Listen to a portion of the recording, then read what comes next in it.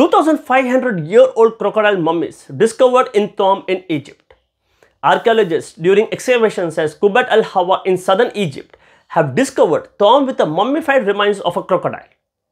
Located opposite Aswan on the west bank of the Nile, Kubat al Hawa served as a resting place of nobles and priests, especially from the ancient Old Kingdom and Middle Kingdom of Egypt. The necropolis was active from the 4th dynasty until Roman times where archaeologists previously discovered more than 100 tombs.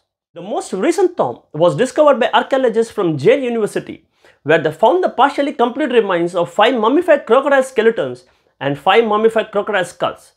Dating from the pre-Ptolemaic period before 304 BC, the ancient Egyptian god Sobek related to the Nile crocodile or crocodile West Africa and is represented either in its form or a man with the head of a crocodile. Sobek was also associated with pharaonic power, fertility and military might, but he also served as a protective deity with apotropaic qualities, specially invoked to protect against the dangers of the Nile. Beatty, archaeologist at the Royal Belgian Institute of Natural Sciences, said more than 20 mummified crocodile burial sites are known in Egypt, but finding 10 such well-preserved crocodile mummies together in one undisturbed burial is something of a tragedy. For most of the mummies collected and frequently hatched by museums in the late 19th and early 20th centuries, we don't know exactly where they came from.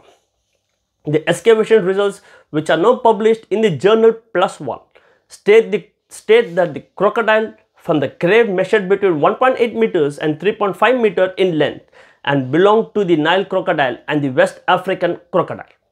Crocodiles were first buried elsewhere probably in sandpit. This allows the crocodile bite to dry naturally. Then the bodies was then unearthed, bagged and taken to the grave at Kubbat al-Hawa.